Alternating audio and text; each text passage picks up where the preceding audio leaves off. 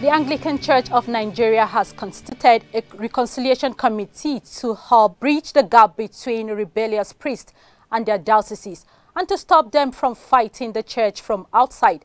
Announcing this at the just concluded Bishop's Retreat in Abuja, the primate, Most Reverend Henry Ndukuba, explained why this move is important at this time. We are constituting a task force on interface and reconciliation with some of the splitter groups and churches across the country. You may have realized that we are facing a challenge from the Orthodox Anglican.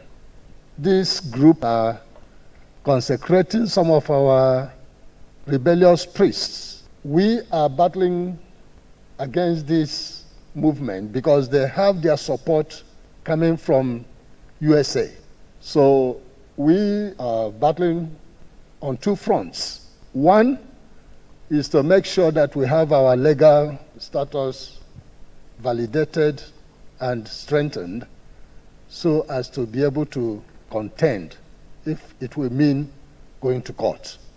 And the second other thing we want to do is to also make sure that we do our pastoral work as shepherds they will interface with them, reconcile them to their dioceses, and bring them back to the fold of the Church of Nigeria Anglican Communion.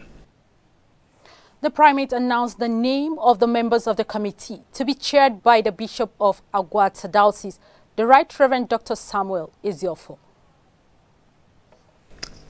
This task force will be chaired by Right Reverend Dr. Samuel Ezeofor, Right Reverend Samuel Ugundeji, Right Reverend Marcus Dogo, Verbal Professor Ninye Opala, Verbal Joshua Eziariala, the Venerable Amos Adebayo, Honorable Justice Zibio, Sibio Waka, Barrister Chinelo Anazodo.